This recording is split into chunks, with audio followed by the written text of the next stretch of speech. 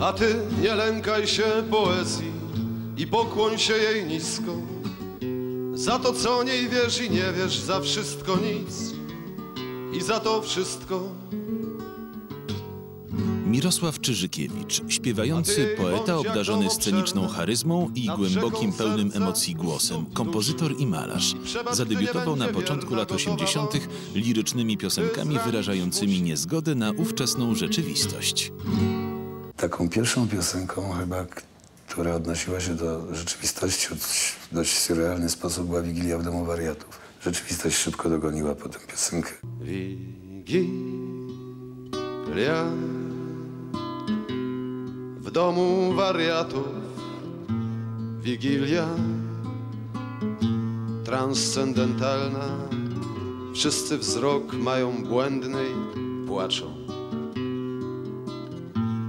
Ale to tutaj rzecz jest normalna.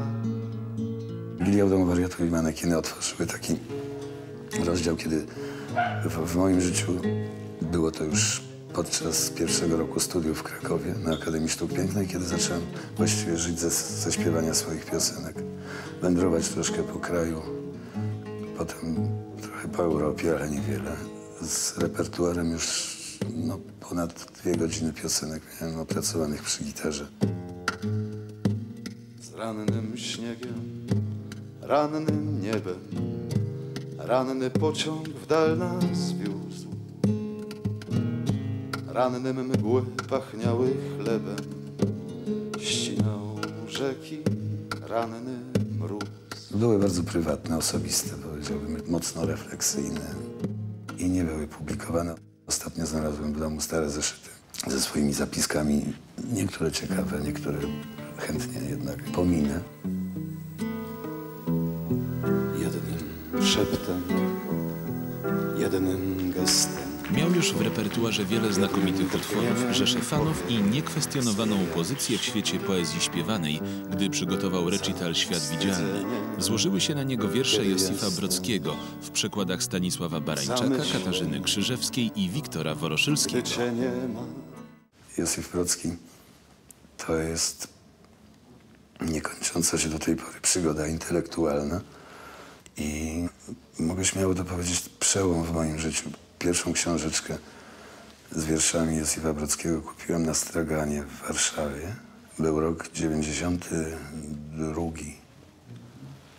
i nie miałem pojęcia, że taki poeta istnieje. To wykazywałoby moje wielkie nieuctwo, bo był laureatem Nagrody Nobla już wtedy od kilku lat. Ale ja byłem z kolei ojcem laureatem i wiele czasu spędzałem na robieniu zakupów, opiekowaniem się córką. Gwiazda czy asteroid Spadając przez mrok nieba Na ostrość wzrok nastroi. I zamglić mu się nie da.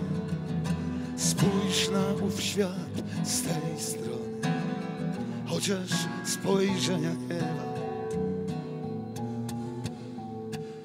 Dla mnie to była przede wszystkim inwentaryzacja świata. Bardzo jaskrawe spojrzenie na, na e, mechanizmy historii e, zachowania człowieka wobec e, wyzwań współczesności.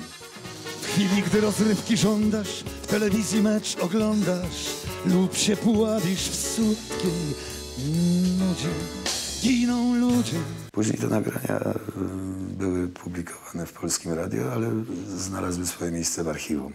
Dopiero e, sukces, bo tak trzeba o tym powiedzieć, płyty Awe e, pozwolił mi wydać tę płytę. Płyta Awe, na której znalazły się głównie interpretacje wierszy Brockiego i poezji Czyżykiewicza, ukazała się w 1999 roku i została uznana za jedną z najciekawszych płyt w całej historii polskiej piosenki literackiej. Rok później pojawił się dwupłytowy album Superata z programami Autoportret Pierwszy i Świat Widzialny. Mirosław Czyżykiewicz był tu także autorem muzyki i aranżerem piosenek. Kompozytorem się mienię z tytułu już wielu kompozycji i aranżacji. Niemniej wszystkie te zdarzenia projektowane były na gitarze, ponieważ na niej najlepiej się czuję jako instrumencie. A możliwości techniczne pozwoliły, że mogłem wykorzystywać inne instrumenty z puszki, to znaczy z mm, instrumentów wirtualnych. Nagrywałem już gotowe rzeczy w domu, a muzycy mm, spisywali to w nutach i świetnie grali w studiu. Lecz ty, stateczku, Kolejna płyta artysty Ale ukazała się w 2005 roku. Znalazło się na niej 15 utworów będących kolażem autorskich refleksji na temat świata, doraźnej publicystyki i subtelnej erotyki.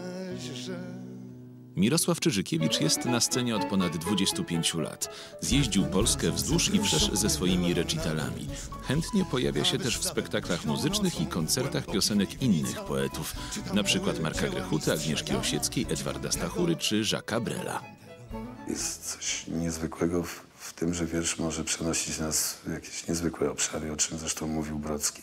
Wyobraźni, do których nie przyniesie nas e, żadne inne medium, czy to film, czy może muzyka też, ale poezja ma tę właściwość, że zostaje z czytelnikiem w bliskiej bardzo korespondencji. To jest właściwie mm, wiersz niezwykle lapidarna forma, nasycona bardzo treścią. To też mnie zawsze uwodziło, ponieważ byłem człowiekiem, który ma niezwykle mało czasu na czytanie prozy, z całym szacunkiem dla najwyższej i pięknej literatury. nie przysięgałem ci Artysta zbiera obecnie materiał na kolejne płyty, także na tę najbardziej wyczekiwaną z jego własną poezją. Poezją, która uwodzi spojrzeniem na świat, mądrością i ogromną wrażliwością. Ostatnio w jego wierszach pojawia się nieco więcej ironii, sceptycyzmu, a być może nawet cynizmu. Coraz bardziej ironicznie tak podchodzę do tematów. Taka śmiertelna powaga, która towarzyszyła starym piosenkom, oczywiście zostaje przechowana i, te, z którymi mogę się zmierzyć jeszcze w swoim wieku, zostaną przechowane. Inne pewnie, pewnie nie, bo nie będę umiał ich uwiarygodnić. Natomiast przeważa teraz taka obserwacja ironiczna, bo poprzez ironię wydaje mi się naj, najwięcej można jednak powiedzieć. Interesuje mnie dystans do świata wyrażany w, w wierszu.